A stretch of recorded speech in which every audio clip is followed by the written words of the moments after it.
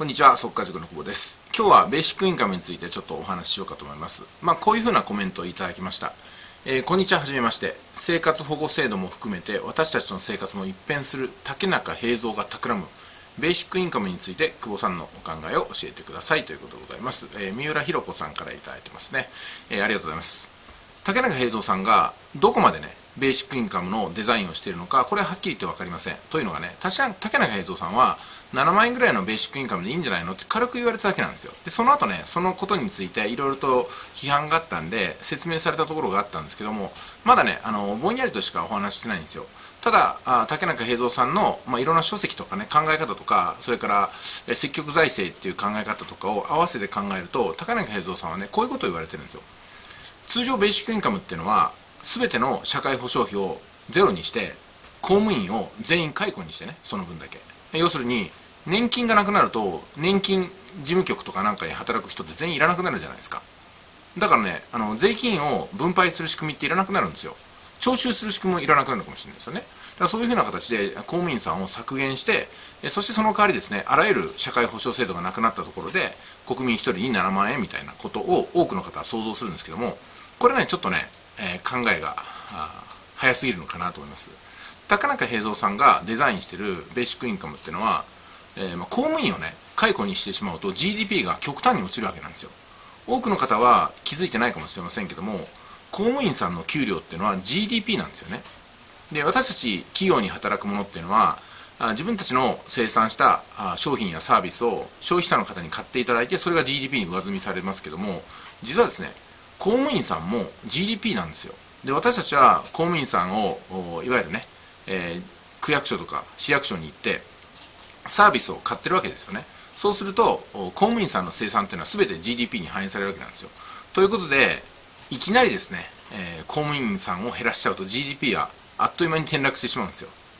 でもう一個問題があります。公務員さんを解雇してしまうと労働市場に人が溢れて私たち企業で働く人間の過当競争がさらに厳しくなります。要するにほとんどの人が、まあ、仕事に就けなくなるんですよね。そりゃそうですよね。だって公務員さんが全員労働市場になだれ込んできたらただでさえ就職や転職が難しいのにさらに競争を激化するじゃないですか、まあ、ですんでねどちらかというと公務員さんの数はもっともっと増やした方がいいんですね。増やしていってそれこそまあ分かんないですけども、えー、看護師さんとかを、まあ、公務員にするとかね。介護士さんを公務員にするとか。あそれからそうですね。うん。その他にもね、公務員にしていい仕事、それガードマンとかどうですかね。まあわかんないですけどね。まあ、公務員さんをいろんな形で増やしていくっていう方法はあると思うんですよ。うん、まあ、ただでさえね、半眼半民みたいな、いわゆる侍、修行っていうのがありますから、そういった意味でも、もうちょっとね、えー、公務員とか準公務員とか、うん、機関公務員とか、いろんな形をもうこういう時代ですから取っていった方がいいのかなと思いますよね。で、いろいろと話したんですけども、もう一回ベーシックインカムのことについて話してみましょう。え、竹中さんの言うベーシックインカムっていうのは今ある社会保障制度をある程度温存したままプラス7万なんですよ。もしくはプラス10万とかね。どういうことかっていうと、まあ、医療制度はそのままあ残すと。年金制度もそのまま残すと。で、え、教育補助制度も残すと。生活保護もそのまま残す。全ての国民にこの上でプラス7万だったらどうですかってことなんじゃないかなと思うんですよ。もちろんきっかりこの通りではないと思いますけども全てをなくしてはい7万でやっていけみたいなそんな乱暴な論調は全然あの竹中さんの言うところではありません、えー、あの方はね結構頭の言い方です。竹中さんの書籍とかそれから発信物っていうのは、えー、本当にね、あのー、聞いていて、うん、本当に日本のことを考えてるな将来のことを考えてるなっていうものばかりなんですよ。でもなぜかね竹中平蔵さんの噂だけは悪いんですよ。だからなんか一人歩きしてるんじゃないかなと思うんですよね、うん、もちろんあの竹中さんの言い出したことで失敗したことも当然あります。でも結果的に失敗したからといってそれをね竹中さん一人のせいにするのはちょっと違うんじゃないかなと私は思うんですよね、まあ、というのが我々はいろんな選択肢の中から自分で明確な意思を持って選んでるわけなんですよ。例えば派遣社員になるのか会社を起業するのか、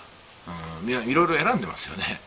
選んだ結果自分がこっちの道を選ぼうと思って選んだ結果うまくいかないのを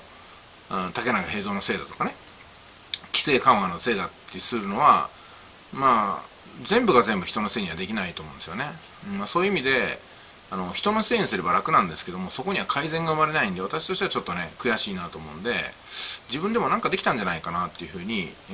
ー、思うことにしてますよね。まあ取りもなさず私もですねその派遣社員には30代の頃一回もなれなかったわけですよ。10年間派遣社員になれなかった私なんですよ、うん、だからね派遣社員になれた方っていうのはすごくね羨望の眼差しで見ていましたけどね当時はね、うん、で、えー、まあ派遣社員になれないもんだから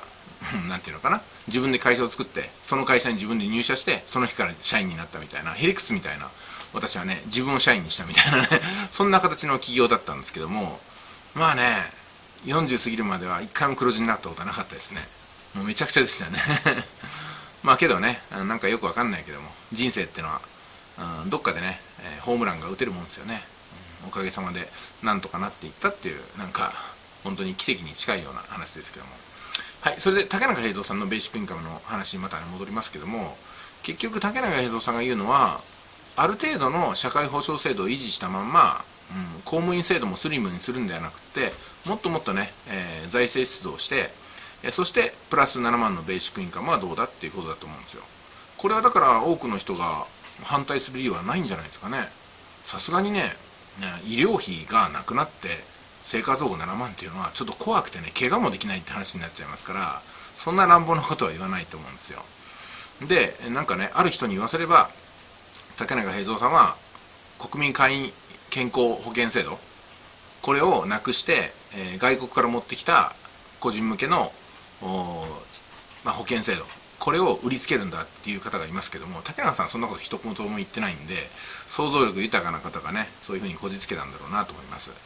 まあそこまでね考えてないと思いますよね。それから案外パソナ儲かってないパソナ儲かってないっていうかね 竹中さん儲かってないですねみたいですね。まあよくわかんないですけどね。うんまああの私のね限られた情報の中でこのベーシックインカム竹中平蔵さんのベーシックインカムを、まあ、考えるとすると今みたいなお話になります、うん、だからね基本的にはあの、